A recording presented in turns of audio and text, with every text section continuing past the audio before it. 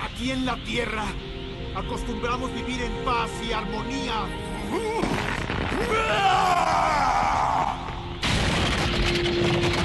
Aunque hemos pasado por un sinfín de cosas.